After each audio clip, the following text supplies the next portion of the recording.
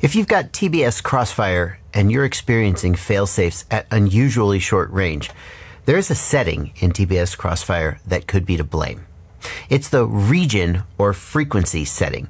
And if you've set it wrong, you're going to interfere with and get interference from cell phone networks in your area.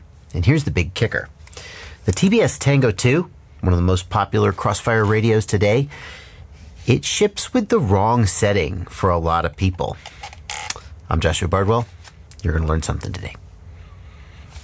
Let's take a look inside the radio at the setting that we are talking about. And we're going to be looking at the TBS Tango 2, but these same settings are present in any TBS Crossfire radio. So I'm going to go down into TBS Agent Lite. by the way, if you're not familiar with it, TBS Agent Lite is the new version of the TBS Crossfire Lua script, except it works with all TBS devices and it is way nicer to use and more full featured. I've got a video about how to install TBS Agent Lite on your radio and you should definitely check it out after you've finished watching this one. Link in the video description. I'm going to go into TBS Agent Lite and I'm going to choose the Tango 2 Crossfire and I'm going to go to General Settings. And here we're going to see two settings that are relevant.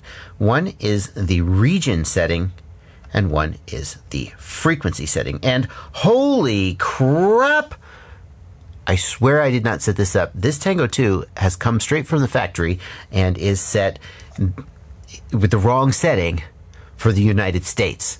I guess that makes sense. The United States is not all of the world. In fact, it's less than most of all of the world. So it makes sense that they would ship this Tango 2 set to the European slash rest of the world settings. As we see in this page from the TBS Crossfire user manual, the main thing that these settings do is control what frequency and output power the radio will use. Different countries have different regulations about what frequencies and output powers you're allowed to use. So we can look at this page from the TBS Crossfire user manual and see that ITU region 1, Europe, Africa, Middle East is 868 megahertz and the uh, rest of the world basically is IT region 2 and 3, which use 915 megahertz. Now, the simplest thing you can do is go into the menu, go down to the region, and change it from open to one of these choices. Don't do this for reasons I'm going to tell you about in a second. When you set the region, it will automatically set the frequency and output power to the correct settings for that region. So we've got the choice of FCC, CTIC, and CE. Now, here's why I say not to do that. Once you do this, your radio will lock itself to that region and you can reset it.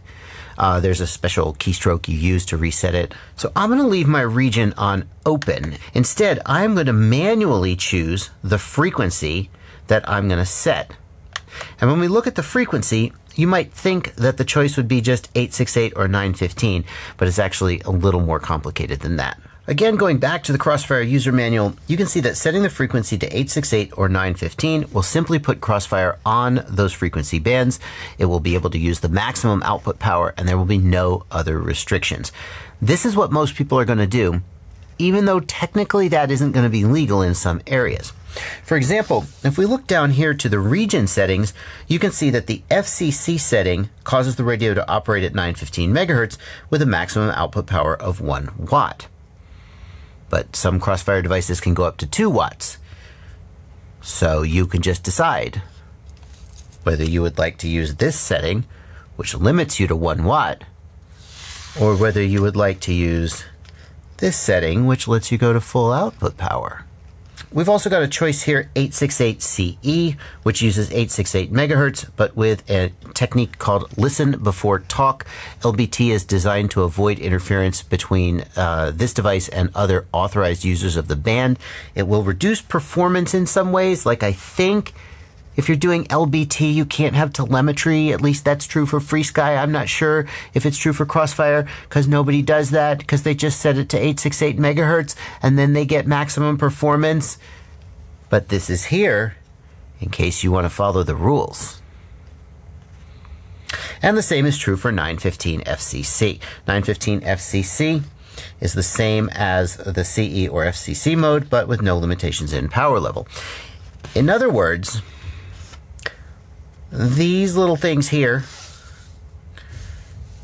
and these little things here are designed to keep regulatory bodies happy because TBS can say that, oh, look, we're following all the rules, see?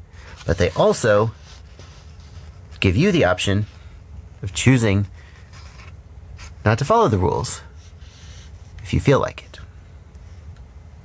Finally, we've got 868 race and 915 race, and these frequency bands are designed for use in racing environments where dropped packets are particularly undesirable.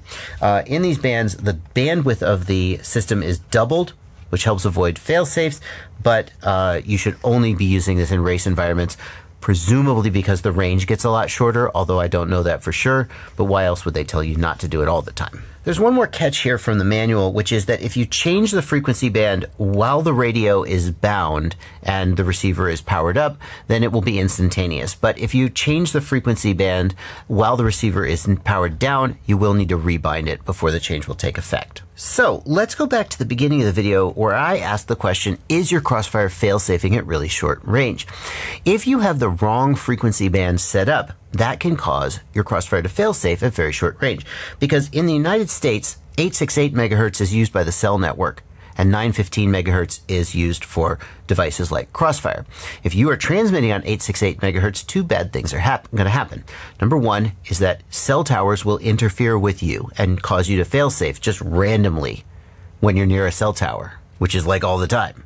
And you will interfere with the cell towers, which, if you do it consistently enough, is going to piss off the cell companies. And who knows, they may come find you and be very mad at you. Probably that's not going to happen, but you never know. So you always want to make sure that you are on the right frequency band. Either 868 megahertz for, well, look back at that map I showed you from the user manual.